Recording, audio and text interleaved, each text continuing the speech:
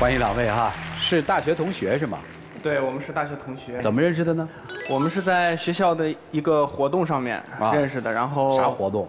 就是一个校庆，我们都是演节目的，然后就互相认认识哦，你演的是，我们都是在一起唱歌，就这么认识了。对，然后慢慢聊着聊着觉得挺好，就在一起了。那今儿为啥来呀？我们相处了两年多了啊，第一年时候我在学校，因为她比我小一岁，学妹。对学妹，然后我们在一起挺好的，嗯每天一起吃、一起上课、一起玩什么的。嗯但可能是因为距离的问题，第二年我回家了，我们两个之间就发生太多的矛盾了。不是，你回家是就是说毕业了是这意思？对我毕业了，回老家了。对现在不在一个城市吗？。对我们现在不在一个哦，城市，不在一个异地了是吧？对啊，然后他就总觉得我这儿也不对，那也不对，总是挑我的毛病，哦，觉得特别的累，每天除了要挣钱这些以外，还要去解决一些这些纠纷，我真的觉得，不然就算了。啊，这话我觉得两年的感情好不容易支撑过来了，为什么不能再继续呢？为什么一定要就是放弃呢？哦，姑娘，你你你这一年你对他到底有哪些不满，让这小子说要不然就算了？我觉得就是最大的一个问题，就是因为两年多了，我觉得也是时候去见一下家长了。然后我在饭桌上就说了他很多很多的不好，不是在谁家的饭桌？在我家。你说了他很多不好。对，啊我我为什么说他不好呢？就是我从小是因为跟我的父母就是无话不谈，我从来都不不会说假话，嗯但是就是他们问我什么，我都会就是告诉他们。但是在饭桌上呢，就肯定父母要问一些，我肯定就会直说，可能就是让他不愉快了，哦说他让他丢面儿了，啊伤自尊了。不是，那你父母要是听你对他有这么多的不满，不是？反对正我我想，如果是我听我们家闺女儿讲这些的话，我说那你们就别交往了，有病啊！他那么不好，你们还在一起？对她的父母确实是这样说的，他们说，嗯那你既然觉得她有这么多毛病，那别在一块儿了呗她。父母现在都不同意我俩在一块儿，本来见家长这种事情就应该是说一些好一点的，然后让家长同意，让家长高兴。对对对对对。但是他当着我的面儿跟他父母一直在讲我的哎，我我这个毛病对你那个毛病。你当时跟你爸妈都讲他哪些不好？你你方便给我们讲讲吗？第一件事儿就是他有一个毛病，抖腿。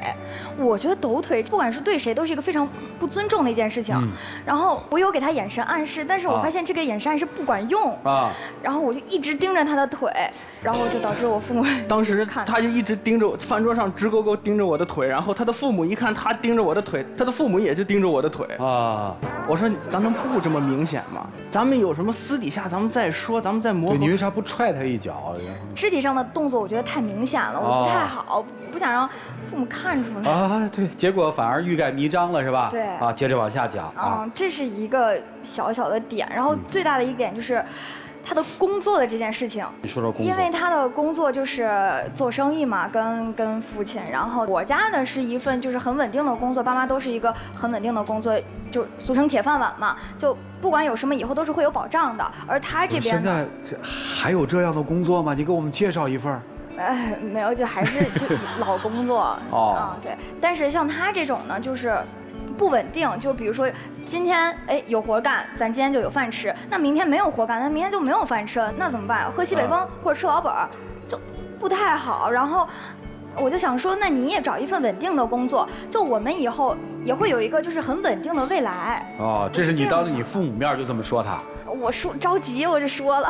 我觉得他对这工作就有歧视，只要是挣钱，怎么样不是挣钱，对吧？我是你想吃东西，我没带你去吃，还是你过生日我没给你买礼物，差着你哪了？他们家呀，说真的，我真觉得毛病太多，就是要求太多了。就比如说饭桌上我们吃饭，那个勺子碰碗。我就觉得这没什么呀，大男孩子吃饭不就得啊稀里擦啦吃吗？啊然后人家们就说啊，你别碰出声音，这个是不好，这个，嗯、什么礼礼貌问题。我觉得这对有没些家庭是什么呀。讲这个的。我从小到大都这么吃饭，啊这突然就，我就觉得无理取闹有一些。吃饭这个事情，就很明显的就是一个就是大老粗，我就觉得这这个还真的是还挺重要的，就不要发出声音，就是还是不是，那你在学校那一年多没给他训练过来吗？你在学校的时候，你要这么要求，你应该训练他呀。当当时我也没有太在意这个事情，但是我哦发现就是因为两年了，然后就是 慢慢这些问题就会显现出来，然后嗯呃，我想说就去慢慢磨合，但是我发现就跟他说了一件事之后，他就也没有很改。行啊，等于在饭桌上又说到了他另外一个问题，你用眼神让你的父母看到了他在抖腿，是这意思吧？嗯。然后继而你又告诉你父母说，呃，他没有一个稳定的工作，在你看来，对你对未来是堪忧的。对，那这父母听到这儿就饭也别吃了吧，小伙子啊，早点吃完早点回去吧。对，他父母一脸不高兴。那当然了人，说在一块儿干啥呀？你说他父母也不同意，不是当时在他也觉得餐桌上就说了吗？我倒是没说啊，啊，我我就觉得是他父母也不同意，然后他也觉得我毛病这么多，那在一块儿不是我，我还想知道他说了什么缺点啊，在饭桌上。他说我打游戏，平时我们那个工作不是到处跑吗？今天就很忙很忙，或者明天就很闲了。我没事的时候去打打游戏，然后朋友们叫着一块儿去晚上吃个夜宵什么的，觉得很正常。他连这个都跟他父母说，他我觉得他就是个妈宝。真说了，对，我就没想那么多，因为我这个人本来性子就直，然后我想说，那直接都说好了。好，那行吧，那就问问吧，你喜欢这男孩什么呀？他很温柔，然后就是我们俩之前的很长一段时间，我们从来都没有吵过架，特别特别好。就是我身边的朋友，大家都很羡慕我，而且因为之前的一段不是非常非常不好，然后但是他就给我一个很温暖、很温暖的一个怀抱。就你曾经谈过一段恋爱，对对对，就不太好。很受伤，对对对他温暖了你，对对对，啊而而且就是。我发现了他与别人的不同之处，就对我啊非常非常的好啊，这不就是够了吗？但是磨合中间就发现一些问题，然后什么问题啊？生活习惯，我给你概括嘛，吃饭抖腿算生活习惯。对于未来的不稳定，就是你你没有这个对未来经济生活的这个安全感，嗯算是他这个职业的问题。还有什么问题啊？就是一些小事儿了。啊，什么事儿啊？就比如说他这个爱玩游戏这件事情，啊真的就是大家的作息时间就是九点、十点、十一点，差不多大家该都该睡觉了。然后第二天早上起来，大家可能会上班，就早睡早起嘛。但是他这个一玩游戏就是凌晨三四点才睡，然后第二天早晨就是可能中午十二点或者一两点才会醒，就是就是没有一个好的身体，就是整个整个一个嗨，我在关心他，但是他就永远都想不到我在关心他，就那你们那一年多的幸福时光是怎么来的呢？我特好奇。还当时就是还是在学校宿舍，这些问题可能不太存在，因为现在不是已经毕业了嘛，然后这些问题就显现出来了。啊，等于异地了一年是吧？对，这一年你们的情感沟通和交流的方式是什么呀？电话、微信，然后偶你会去看他吗？偶尔会去。为什么是偶尔呢？你不是也说了，你那工作不是那么要时间的吗？相对宽松一些。我平时就是呃工作紧张的时候紧张，然后清闲的时候我也想着会。哎，你们家到底从事什么行业的？我们是做一些工程的，做工程的应该相对宽松一些啊。嗯，有时候宽松，有时候确实就连连着。我我的意思就是说，你连着转归你连着转，但是在你工程筹备期的时候和工程开建期的时候，你又不用盯工地嘛，有的时候，对吧？嗯你也有工程监理什么，你不可能亲自盯工地的嘛。那你这个时候不就有时间去看他吗？你为什么不去看他？我是跟你纠结在这儿，我也啊去看了，但可啊能就是看的比较少，为啥呢？觉得没有必要说是经常的去，就是啊偶尔去一趟啊就行了。就行了。可能就是我也是我没考虑周到，啊，你什么时候动了说你要跟他分手的心思？就在他父母叫我吃饭的时候，嗯吃完这顿饭，我觉得两个人在一块儿就应该磨合嘛，但是他总是叫我去怎样怎样，他父母和他逼着我去自己磨合，什么叫逼着你自己磨合就是啊，你有这个毛病，你改咱咱们慢慢改，啊？那就要就要我当时就，你不改我就我就告诉我父母，我父母不同意，然后他父母跟你谈过话吗？我和他父母只在餐桌上见过，跟你说了什么了呢？一开始也就就说了说自己的情况和家里的情况，然后就开始发生这种。哦，就后来他父母嗯都脸就特别冷，就不愿意。人家基本没兴趣再听了，是这意思吧？然后吃完饭之后呢？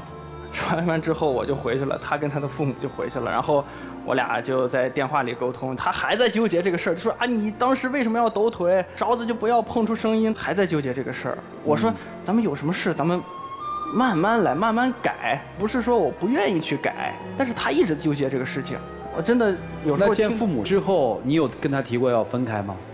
这之后有个半个月以后，你提出分手了？没有，我只是讲我说，咱俩现在在一块儿太累了，我真的连一点自由都没有。这不是没管你吗？这一年多不是没管你，不是挺但是一直自由的吗一？直在说我，我我自己就总喜喜欢想一些事儿，我就想我说，啊，说我这个我改不了，然后我特别怕他父母怎么怎么样，然后对，就是这些，好，姑娘，我特别问问你啊麻烦。，那你们俩怎么怎么办呢？你不是还想跟他好吗？怎么解决这异地问题呢？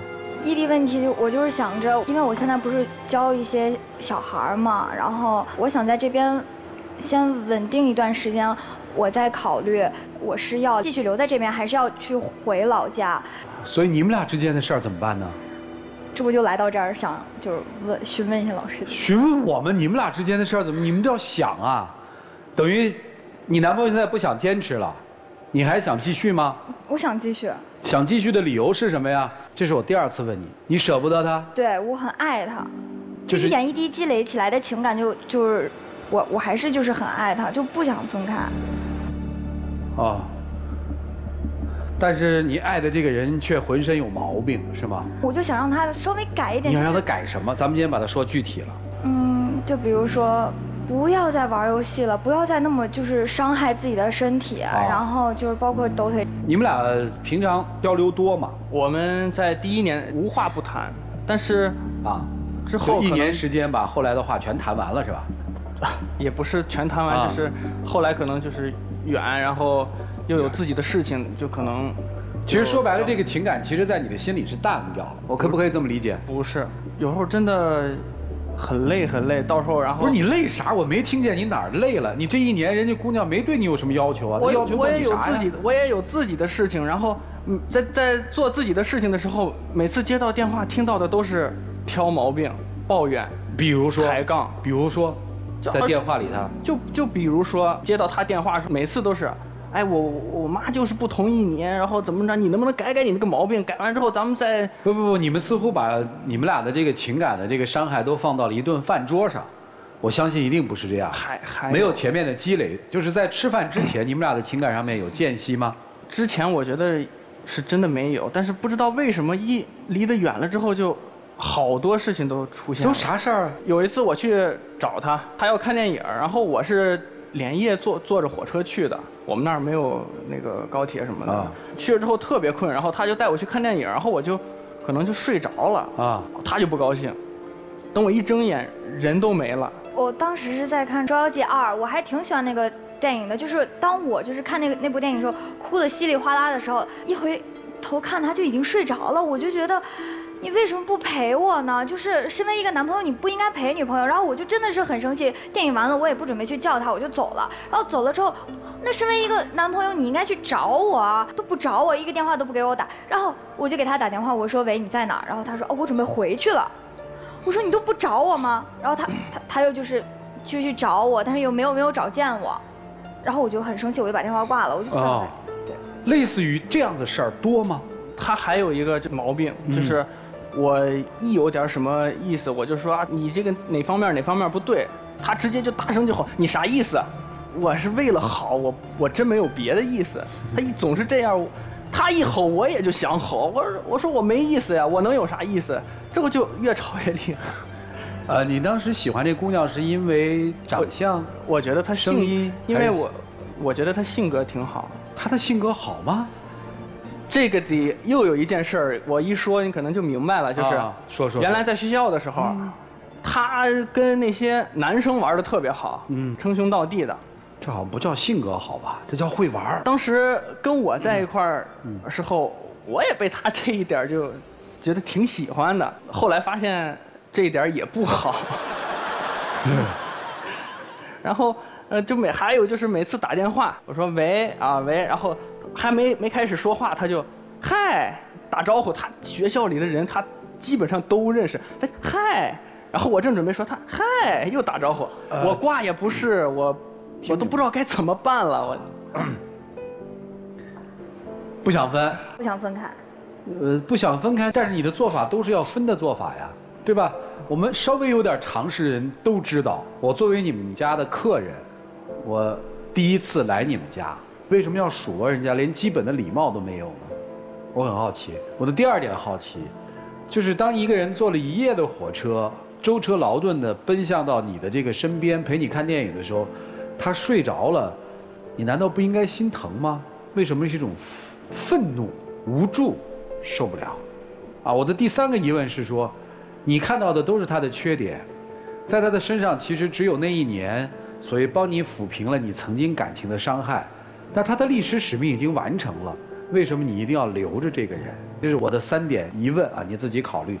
男生其实我也挺好奇的，因为我绝对不相信说一顿饭就可以颠覆一段稳固的感情，就是因为有了这顿饭，我发现你走的是理直气壮的。我也请你考虑三个问题，第一个问题是。过去认为的性格好，怎么到现在就变成了性格不好？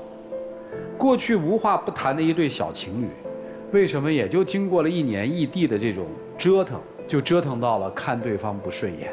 为什么想分手，又犹犹豫豫、犹豫不决？就为什么不能坦诚和坦率呢？这是我想到的啊！我我相信老师们会看到更多啊，对这个解读你们会更深刻。我们一起进入丘比特问卷。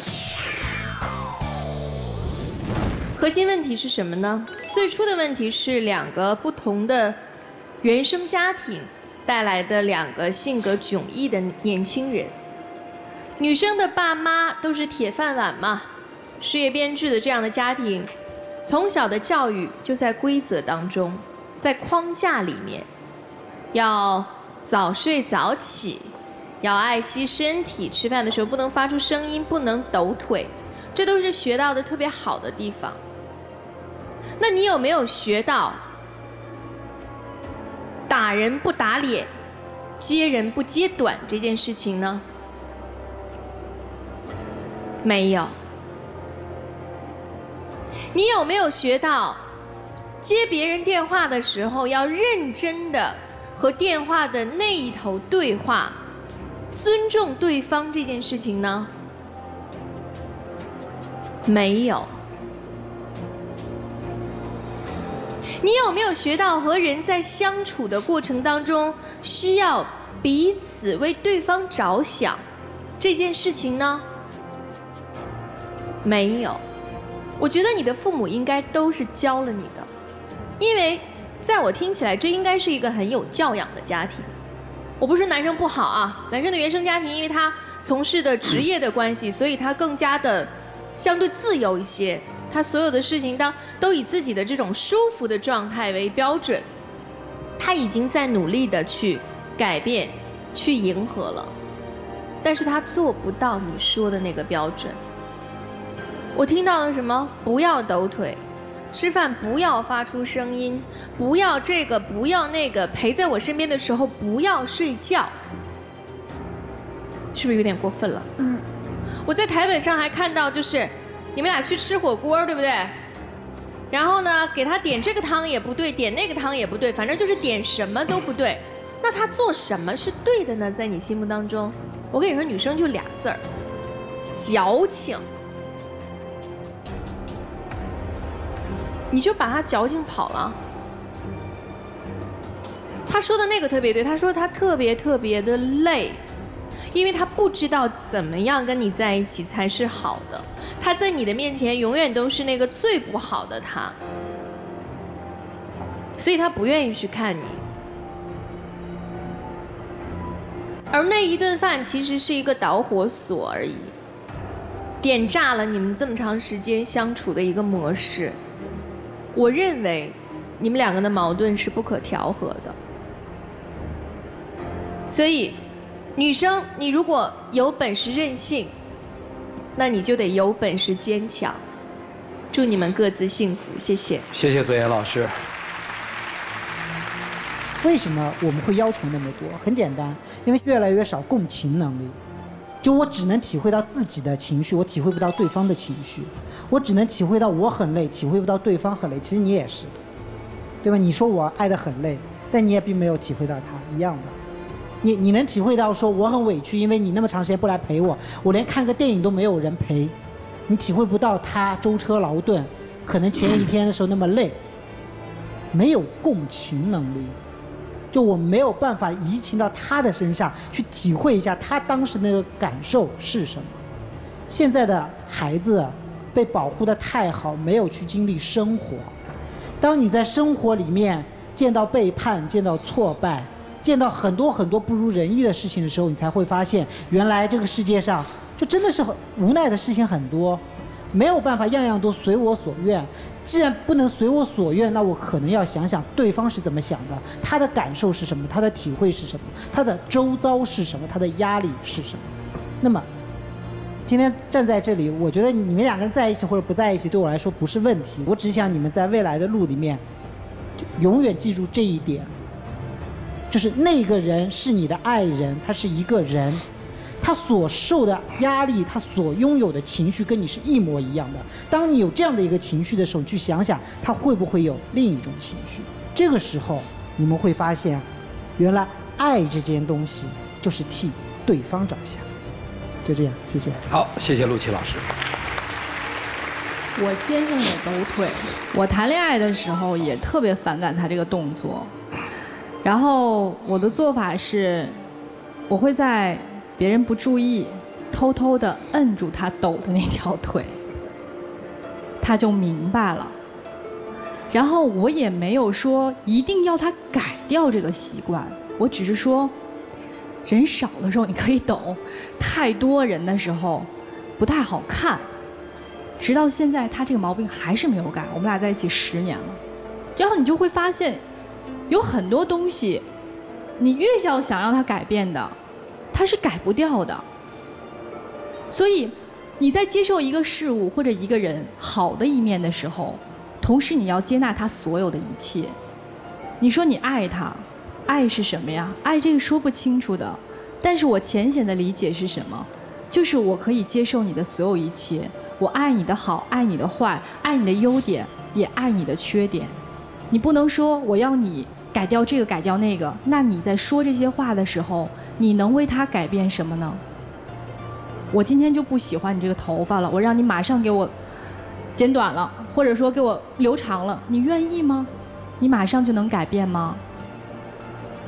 比如说你特别喜欢的一件东西，我就是不让你买。或者说你无意识的一个行为、一个习惯，我就是不喜欢，不符合我们家的这个价值观，不符合我们家的这个三观，你一定要改。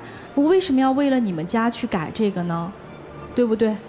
同样，你到婆家去见婆家的时候，那婆婆说了：“哎，你怎么不洗碗不做饭呢？”你说我在家我也娇生惯养，我凭什么来你们家就一定要洗碗做饭？是不是一个道理啊？人家凭什么一定要改呢？改也是他真的心甘情愿为了你改，那才是爱你的体现。就算你逼着他的改，他改得了一时，改得了一世吗？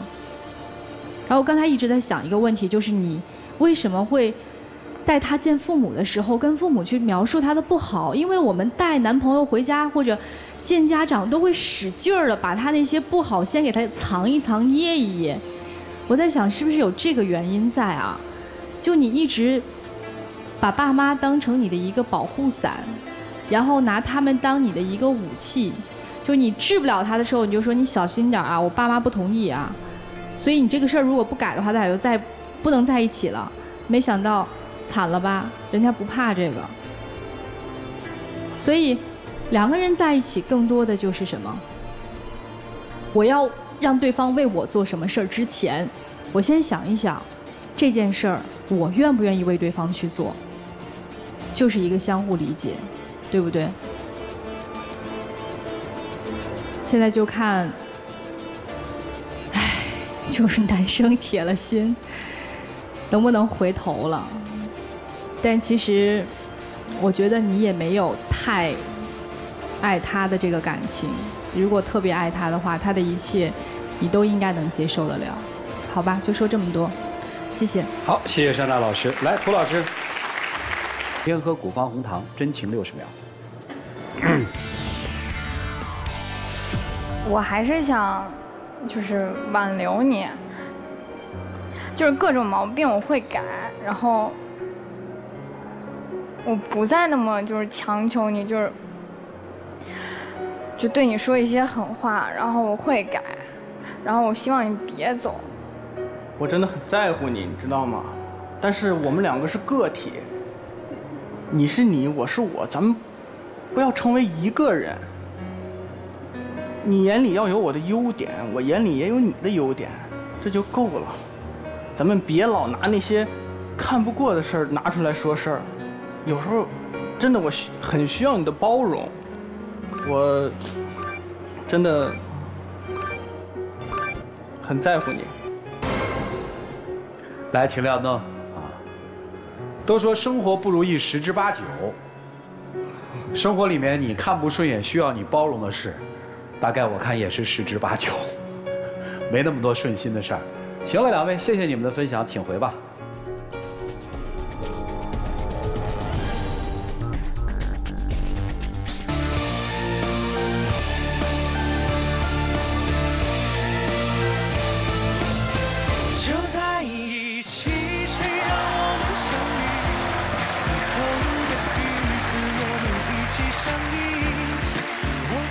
听到你们的掌声了，我也看到老师们脸上的表情了。我愿意发自内心的恭喜你们去做这样的选择，因为给彼此一个机会。最后到底是什么样的，其实可以不用考虑，因为年轻。但是咱们就是一起学习嘛。来，有请我们的小花童，有请。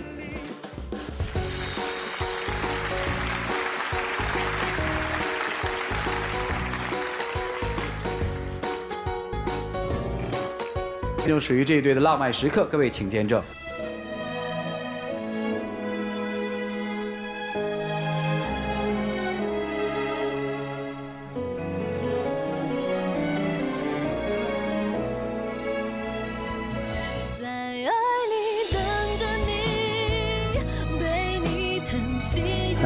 哎呀，请亮灯，在梦里全是你。